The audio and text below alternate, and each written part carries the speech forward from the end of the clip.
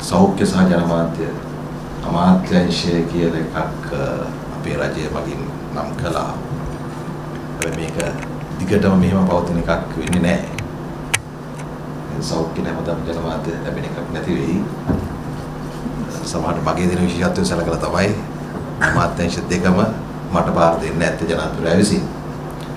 කොහොමුණත් අපි අමාත්‍ය මණ්ඩලය කටයුතු කරන්නේ රටේ ජාතික සැලැස්මක් ක්‍රියාත්මක කිරීම සඳහා. මෙතන අපි කවුරුත් අවබෝධ කරගත්තොත් හොඳයි කියලා. මොකද අපේ ඉතිහාසයේ වැඩ කටයුතු සිද්ධ වුණේ එහෙම නෙවෙයි.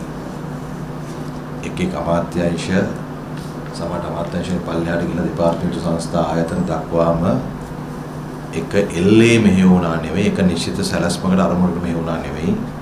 ඒ ඒ ඇමතිවරයා නැත්තම් ඒ මොහොතේ දේශපාලනිකව හසුරුවන කෙනා අනුව තමයි බොහෝ දේවල් තීන්දුව වුණේ.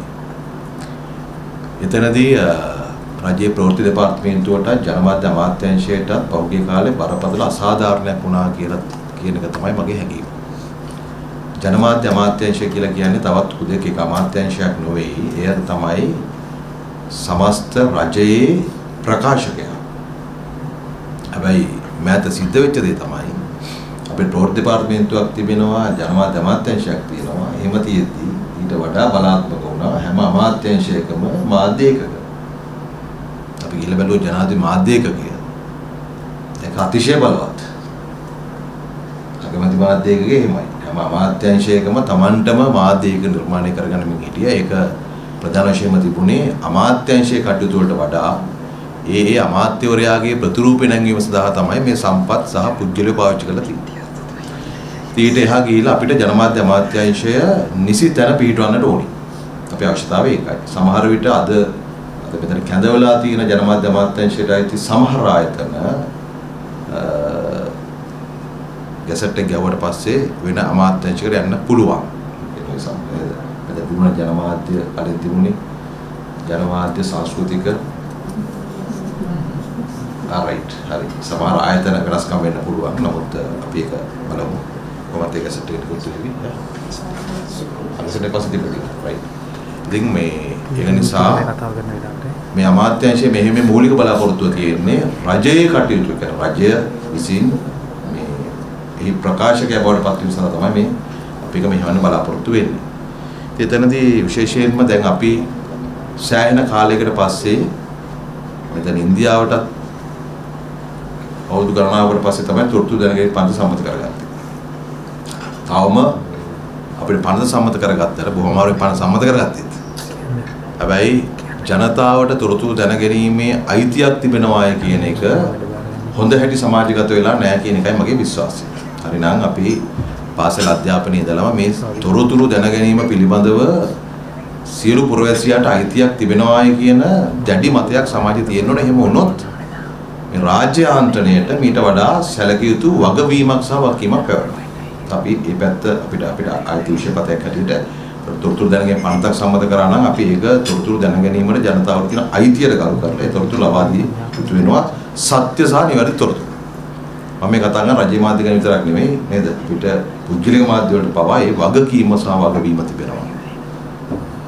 ඒ වගේම මේ මාධ්‍ය ආයතනවල සිටින පුද්ගලයා වෘත්තිකයා ආද්‍ය ආයතන වැඩ කරන විතරක් නෙමෙයි ප්‍රාදේශීය මාධ්‍ය වේදින් පවා මෙතනදී යම් වෘත්තීමේ භාවයකට ගේන එකත් අපේ කටයුත්තක්.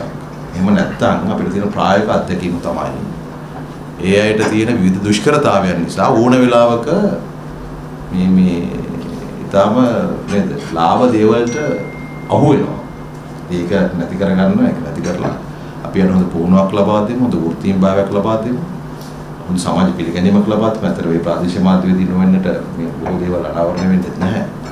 ඒ අය තමන්ට ලැබෙන දෙයට වඩා ලොකු පරිශ්‍රමයක් දරලා තමයි ওই දේවල් හරි වාර්තා කරන්නේ. මම හිතනවා එතකොට අපි ජනමාධ්‍ය අමාත්‍යාංශයේ හැටියට එයට සාධාරණයක් කළ යුතුයි කියන එක. ඒ වගේම අනිත් පැත්තෙන් රටේ සියලු මාධ්‍ය දැන් තියෙන මේ මුද්‍රිත විද්‍යුත් සහ නව මාධ්‍ය කියන සියල්ලටම වගකීමක් තියෙනවා. අපි කොහොම පාවිච්චි කරන්නේ මේ රටේ ජනතාවට අයිති දේවල්.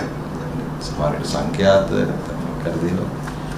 ඉතින් මෙන්න මේ අර සියලු ජනමාධ්‍ය ඒක නිදහස ආරක්ෂා කරන අතරෙම වගවීමට සහ වගකීමට බැඳෙන ආකාරයට මෙහෙවන එක තමයි අපේ බලාපොරොත්තු යුතු වන්නේ. අපි අපේ පෝසත් රටක් ලස්සන ජීවිතයක් කියන ප්‍රතිපත්ති ප්‍රකාශ මත පදනම් අපි ඒ නිදහස ලබා දෙන්න සූදානම් වුණ ආකාරයට හැබැයි අපි මේ නිදහසේ සීමාවන් තිබෙනවා කියලා කියන එක ඒ වාර්තාකරණය දැනගන්නට ඕන.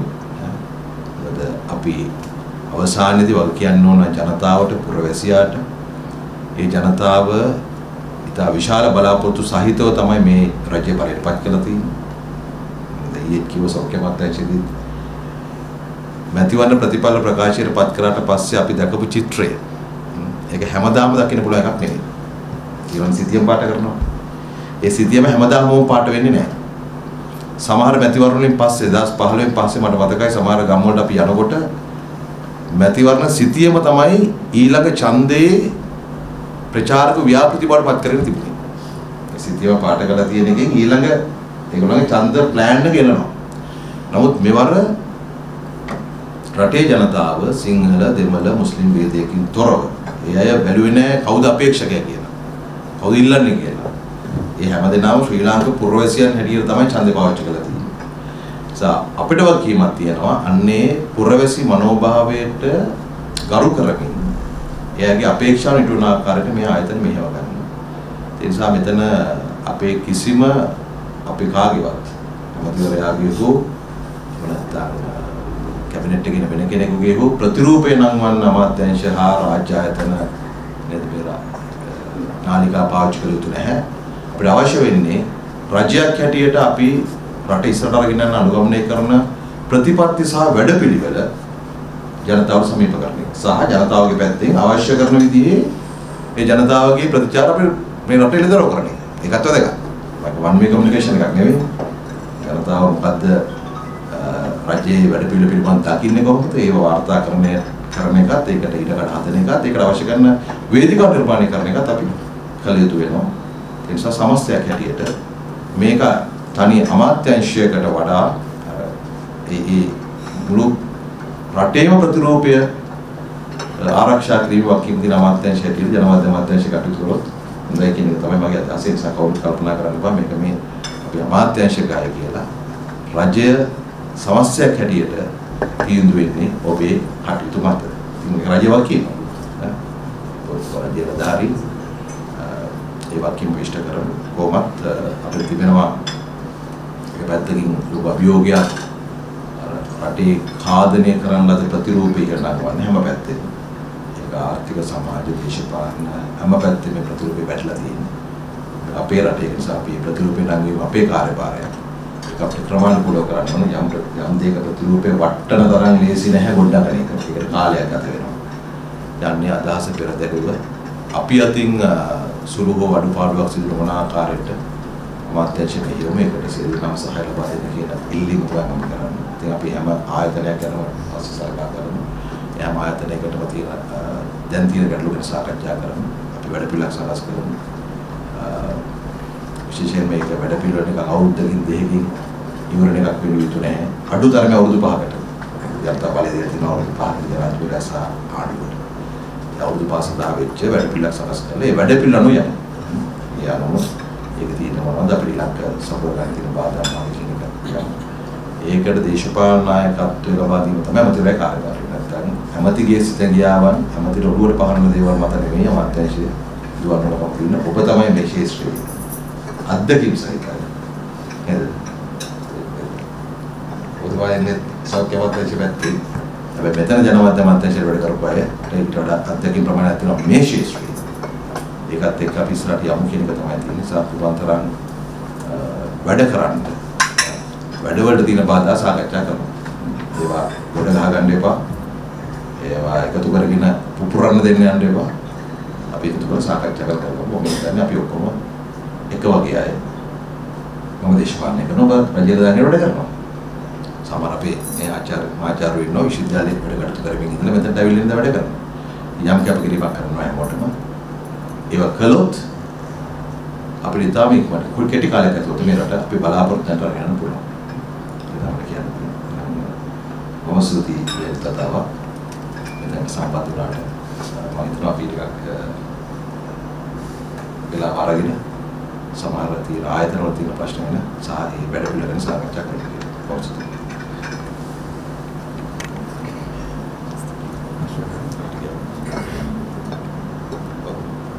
පොඩේ වීඩියෝ එකක් ඉස්සරහට දැන් ඒක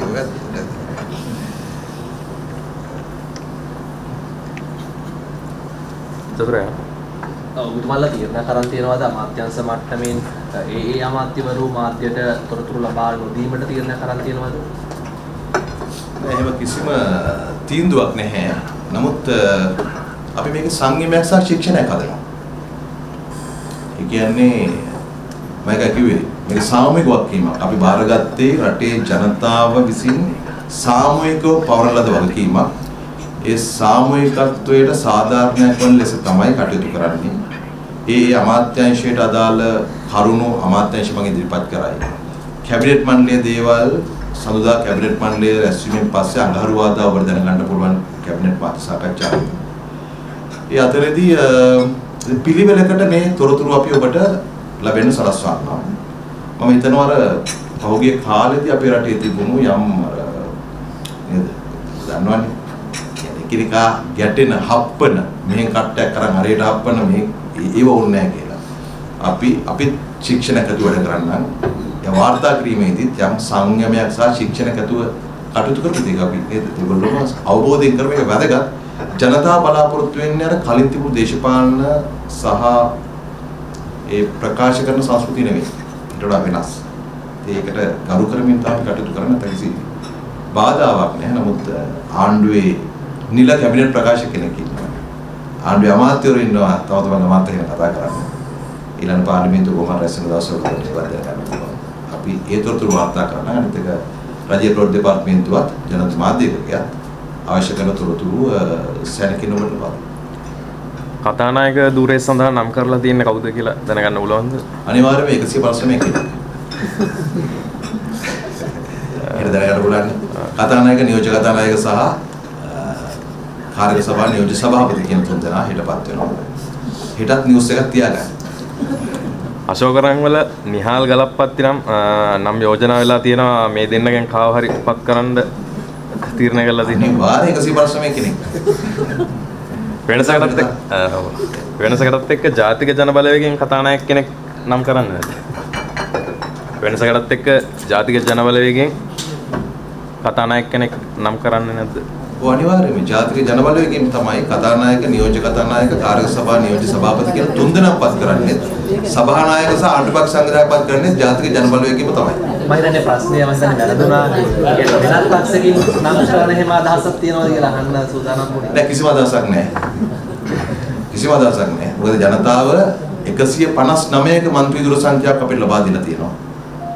ඉතින් ඔය ගොඩාක් බොරු කියපු කට්ටිය ජනතාව ප්‍රතික්ෂේප කළා තියෙනවා ඒ ප්‍රතික්ෂේප කරපු අය එහෙම දන්න උමනාවක් නෑ දැන් ඔබතුමා යෝජනා කරා මාධ්‍යවේදීන්ට මේ වෙනසට සහාය දෙන්න කියලා. බොහෝ වෙලාවට අද මාධ්‍යවේදීන්ටත් පසුගිය කාලේ හිමි වෙච්ච සහ නොහිමි අහිමි වෙච්ච දේවල් නැවත ලබා දෙන්න විශේෂයෙන්ම රක්ෂණ ආවරණය අහිමි වුණා පසුගිය රජයේ කාලේ. ඒ සම්බන්ධයෙන් ඔබතුමාලා අවධානය යොමු කරනවද? අපි ඉතිරි දවස් කීපය ඇතුළතදී ඒ මාධ්‍ය තියෙනවනේ ඔයගොල්ලන්ගේ සංගම් සහ අ, එකතුන් තියෙනවනේ ඒ සියලු දෙනාත් එක්ක සාකච්ඡා කරලා අදාළ කරන දේවල් අ, ඉදිරි ඉදිරිපත් කරන්න. විශේෂයෙන්ම ඊළඟ අයවැයත් එක්ක අපිට පුළුවන් මේ සමහර ඒ යෝජනා ක්‍රියාත්මක කරලා අරගෙන එන්න කොහොමත් අ, මම කිව්වේ මාධ්‍යවේදීන්ට වෘත්තීය ගරුත්වයක් සහිතව ඔබගේ වැඩ කටයුතු කරගෙන යන්න අවශ්‍ය කරන පරිසරය සකස් කරන්න අපි වැදගත් වෙනවා. මාධ්‍යවේදීන් ගත කරන දුෂ්කර ජීවිතය ගැන අපි හොඳට දන්නවා. ඒ අය නිසා තමයි අද අපි මෙතනට ඇවිල්ලා ඉන්නේ. ඒකට අපේ ලොකු ගරුත්වයක් තිබෙනවා. ඒ අයට කරන්න පුළුවන් දේවල් රජයක් හිටට කරනවා. එමත්තුමා ප්‍රශ්නයක් ඔබතුමා කිව්වා මේ ශික්ෂණයක් ඇති කරනවාගේ ජනමාධ්‍ය තුළ මොනවගේ ශික්ෂණයක් ඇති කරන්න ඔබතුමාලගේ රජය තුළ ඔබතුමාල බලාපොරොත්තු වෙන්නේ යම්කිසි අලුත් වැඩ පිළිවෙලක් තියෙන දේ සම්බන්ධ ජනමාධ්‍ය තුල අපි ශික්ෂණයක් ඇති කරන එක නෙමෙයි. අපි කවුරු ශික්ෂණයක් ඇති වැඩ කරමු. දේශපාලනඥයන් පැත්තෙන් අපි ඒ ශික්ෂණය ලබා දෙන්න. පාර්ලිමේන්තුව ඇතුලේ අපි ශික්ෂණය පෙන්වන්නම්. ඒතර අනිත් පාර්ශවත් ඒ ශික්ෂණය සංයමය සහිතව කටයුතු කළොත් එත- එතකොට තමයි රට ඉස්සරහට යන්නේ. අපි බලහත්කාරයෙන් නියාමනය කරන්න හෝ බලහත්කාරයෙන් ශික්ෂණ ඇති කරන්න සූදානම් නැහැ. අපිට ඕනෙත් නැහැ ඒක. නිදහස ප්‍රජාතන්ත්‍රවාදී උපරිම වශයෙන් ආරක්ෂා වෙනවා. අ, ඒ අතරේ අංකයක ජනතාව ඒ ජනතාවගේ මනෝභාවයන්ට ගැළපෙන ආකාරයේ ශිෂ්ටත්වයක් ශික්ෂණයක් අපි කාගෙනුත් අපිත් බලාපොරොත්තු වෙන ජනතාව බලාපොරොත්තු වෙනවා.